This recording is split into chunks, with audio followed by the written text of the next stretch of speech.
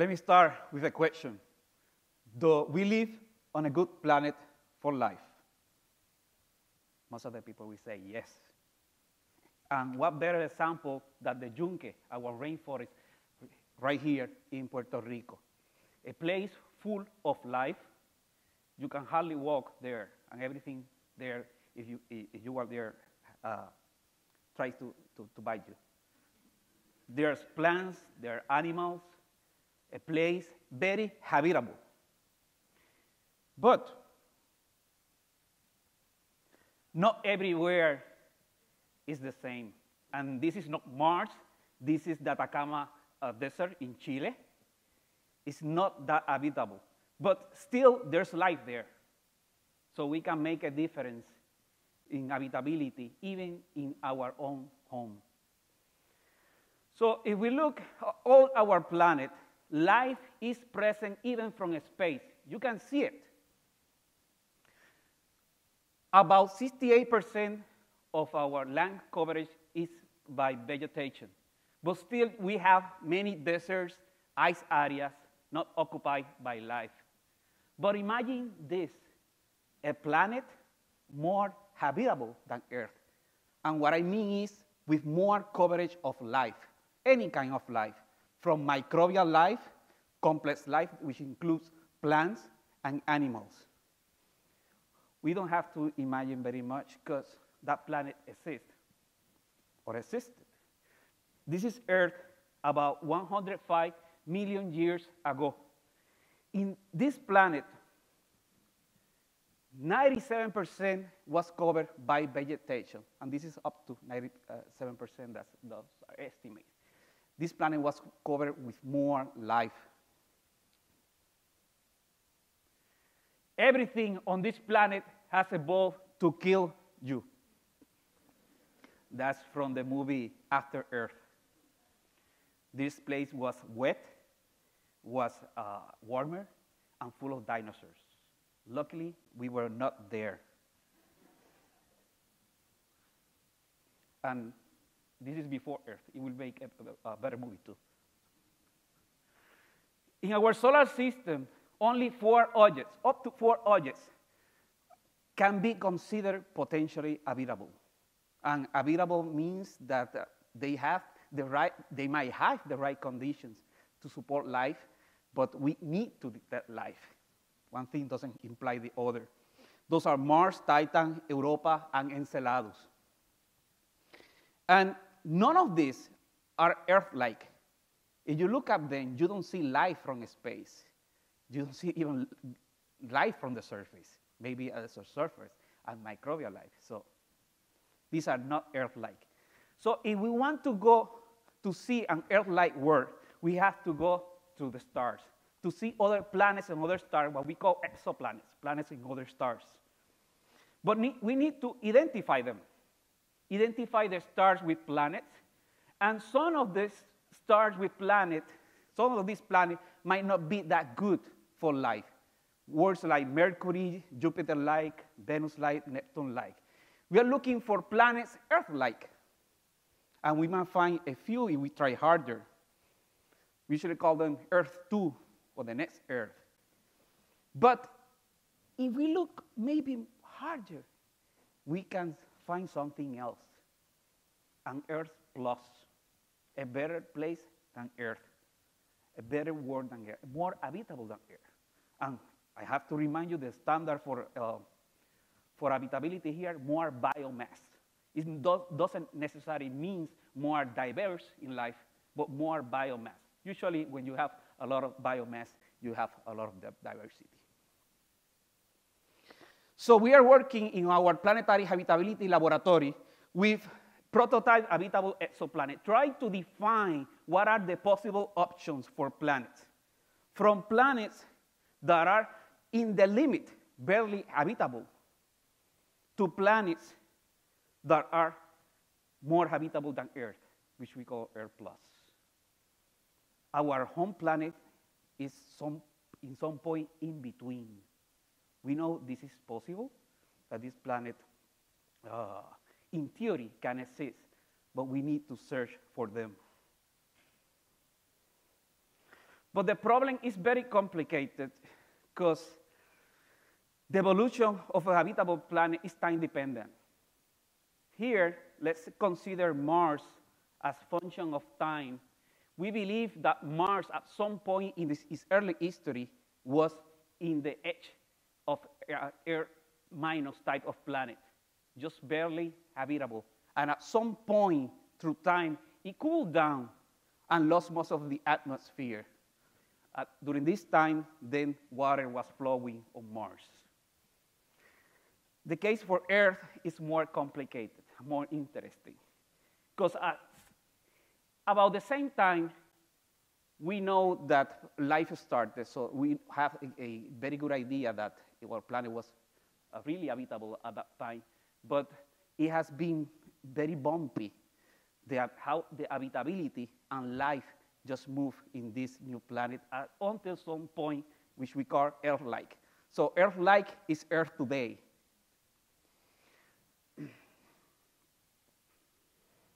so the main goal of us astronomers is looking for an Earth-like planet, a planet just like Earth, but we have to consider something else. What about an Earth plus? Can we detect those? Do they exist?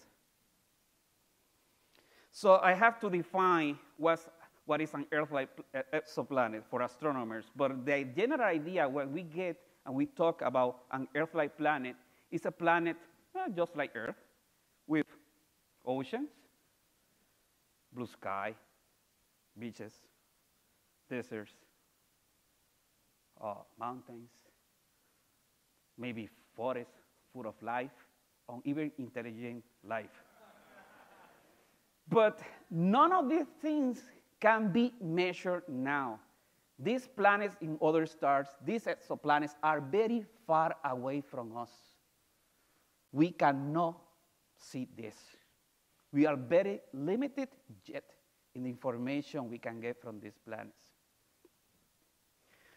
So, what is an Earth-like exoplanet for astronomers? This is an operational definition from what I can see. First, we can see their orbit. And we know from their orbit, depending on the type of stars, and there are four types of stars that are very interesting for the evolution of habitable planets, that are F, G, K, and M.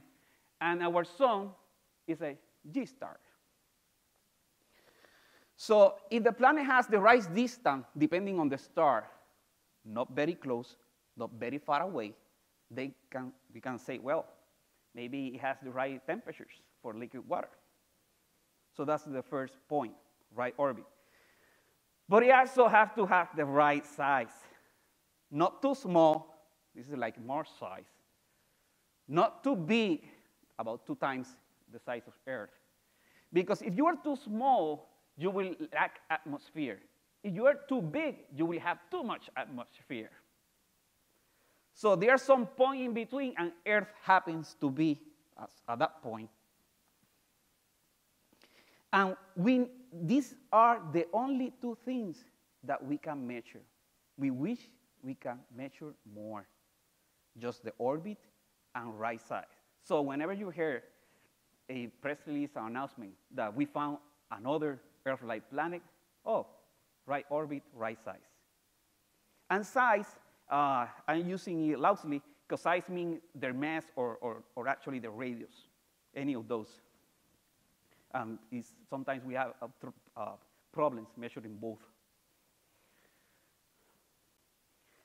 Our Earth is then around a G star and about this size. We call these uh, sizes, we have a name for them to distinguish, subterran, terran, super Terra, or this all calls, also called in astronomy uh, super Earth.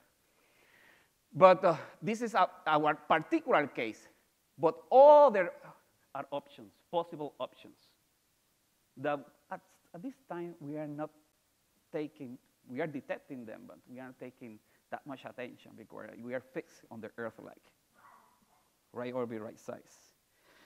So a little bit of history. The first exoplanet what were detected 21 years ago, very close from here at the Arecibo Observatory.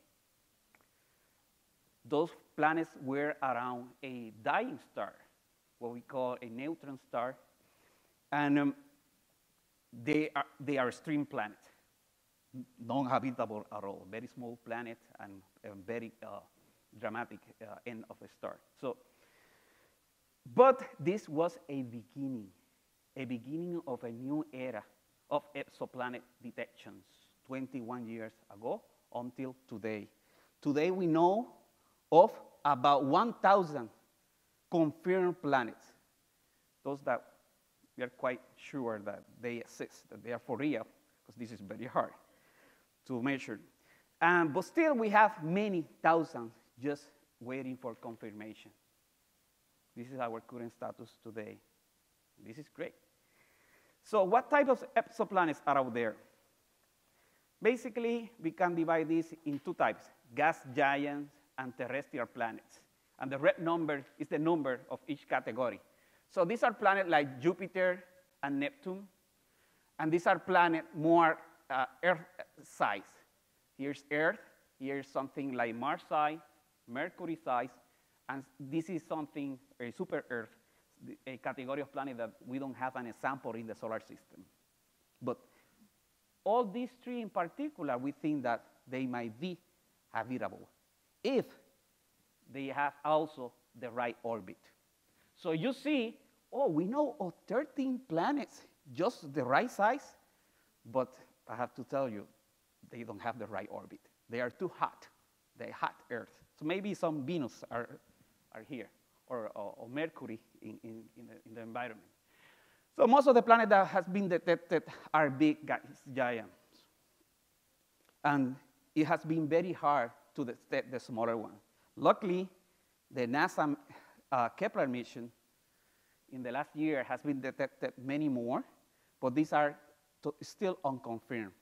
But you see now the big numbers for Earth-sized planets or Mars-sized planet. They are waiting for us to confirm, to make sure that they really exist.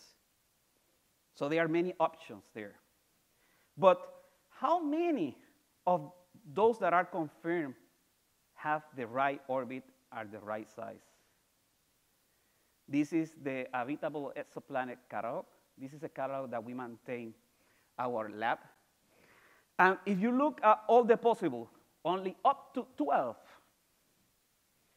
all of these planets, and these are artistic representation of them, if you see Earth here and Mars for scale, also Neptune and Jupiter, they are larger than Earth. We call them super Earths, but the super here is because of the size.